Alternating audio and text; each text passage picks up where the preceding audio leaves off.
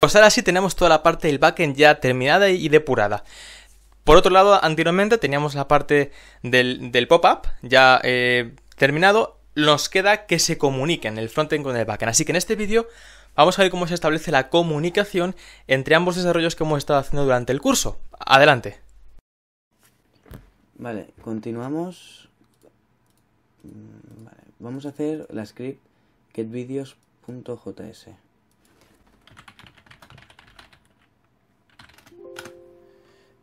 como recordáis, hace ya tiempo en el pop-up le añadimos esta script getVideosJS.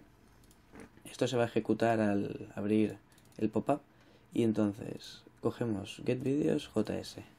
¿vale? Aquí ya la tengo escrita y básicamente lo que hace, vale, os lo voy a explicar bien. lo que hace es esto. Hacemos una función, videoloader, que nos tienen que pasar un, bueno, la variable name y la variable URL. Y escriben el archivo eh, uniframe con la clase link y el source es la variable URL. Eh, frame border ser, eh, le ponéis un 0 porque si no me parece que salieron unos bordes. y allow full screen para, bueno, eso la verdad es que como el iframe no me acordaba cómo se escribía, lo busqué por internet y me salía así. Mm, supongo, bueno, para habilitar la pantalla completa, no sé. Bueno, eh, background. Bueno, BG, pero lo vamos a usar como background. Básicamente esto es el objeto mm, de la script esta. O sea, esta script que se ejecutaba. Uy, con esto lo que estamos haciendo es coger, por así decirlo, referencia a esta script. Porque recordamos que está ahora todo el rato ejecutándose. Luego el background URL, cogemos bg, que es el objeto del background, y ponemos la variable embedLink, que si os acordáis... Ay, vale. No había guardado lo que había escrito. Bueno, no, no pasa nada. Eso se arregla en un momento, porque lo puse aquí. Ah, no. Bueno, pues ahora luego lo vuelvo a escribir, pero por ahora... Mm, mm, bueno, da igual, voy a continuar. Bueno, si recordáis, esta variable es el, o sea, era parseando la web, o sea, haciendo lo de los index y todo eso, eh, conseguíamos eh, saber mm, cuál era el link para meterlo dentro de un iframe y luego el vídeo es un nuevo video loader, lo usamos como si fuera una clase y le pasamos el background video name, que también es una variable que está guardada en el background. Entonces he abierto sin querer el Sony Vegas y le pasamos el background URL que eso ya lo hemos guardado aquí. Vale entonces va a ejecutarlo y va a hacer el document.write y lo va a escribir. Luego función jQuery. Una tupla ¿no? una función anónima. Eh, cuando cliquemos el link como veis si recordáis es la clase link y se le hemos puesto el iframe. Cuando cliquemos eh, no sé si habéis visto cómo es exactamente un iframe de YouTube, pero cuando le clicas reproduce el vídeo. Pero nosotros no queremos que aquí nos reproduzca el vídeo, porque si no sería muy molesto porque al salirse eh, perderíamos el vídeo. Y nosotros lo que queremos es que abrir una ventana que podamos verlo libremente. Entonces hacemos un prevent default para que no ejecute eh, el clic en ese objeto y luego hacemos un window open del background URL que como recordáis lo hemos guardado aquí en modo pop-up y le damos estas dimensiones. Y luego el settings img, que en el archivo popup.html, eh, si recordáis es este botoncito de aquí, que tiene esta animación. Y lo que vamos a hacer, eh, bueno, el prevent default lo, lo he copiado antes de esto.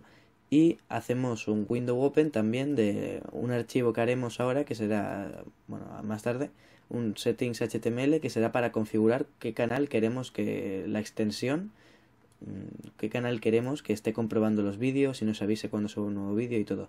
Pop-up y luego width le hacemos 800 y 500.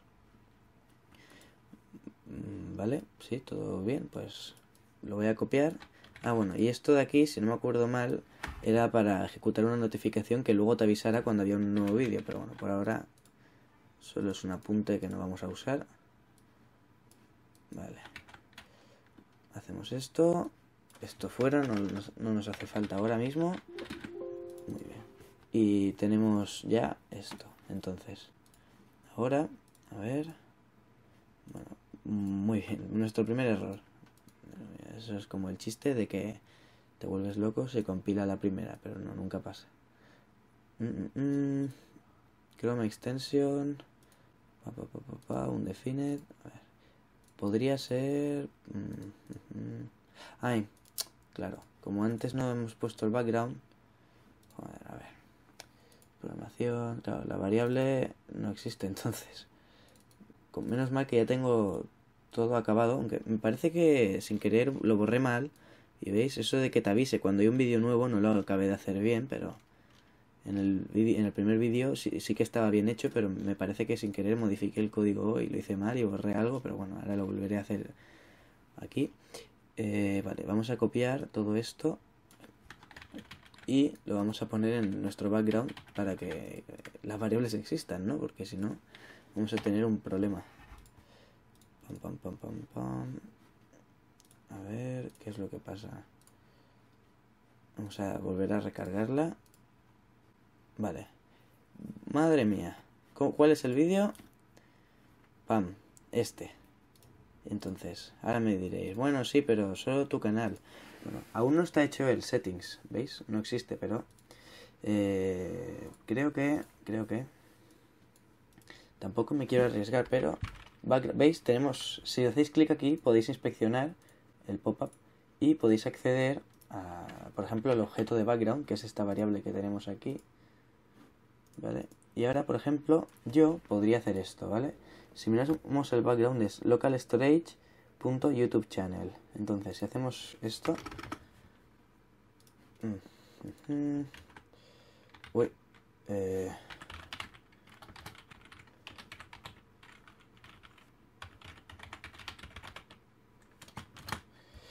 No sé si exactamente nos va a acceder, pero a ver, vamos a, vamos a intentarlo. Bueno, espérate, voy a copiar esto. Y voy a cerrar un momento, ¿vale? Por ejemplo, para asegurarnos de que funciona, si no, ahora lo haremos con el settings.html.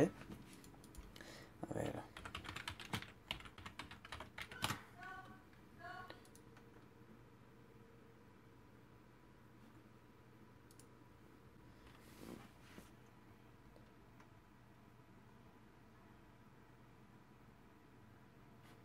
Vale, aquí tenemos todos estos vídeos, ¿no?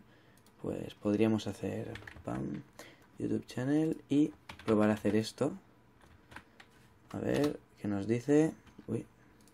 Ay, claro, tiene que ser un string, obviamente. Web. Joder, a ver qué pasa ahora. Esto. Me había ido sin querer.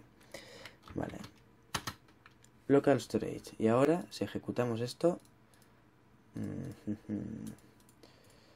Vale, me parece que cada aplicación tiene su propio local storage.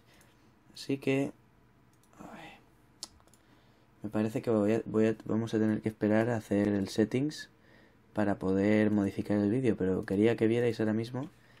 Vale. ¿Veis? Ahora sí. He cambiado y ya tenemos el canal de JJVM. Y así podríais probarlo con cualquier canal. Seguro que funciona. ¿Vale? Como os vuelvo a decir, si os fijáis, siempre será lo mismo. O sea, esto es muy útil porque usando esta técnica podréis parsear cualquier cosa. O sea, cualquier página web, pensar que es bastante vulnerable en ese sentido de que cualquier información se puede sacar si sabes cómo hacerlo. Y la mejor manera que se me ocurre a mí es esa, la de los dos, la de los dos índices. El principio de lo que quieres coger y el final. Y entre medio es tu información, ¿veis? También es a class, no sé qué, no sé cuánto, siempre es lo mismo. Luego ya si quisieras tener todos, pues bueno, eso ya sería un poco más...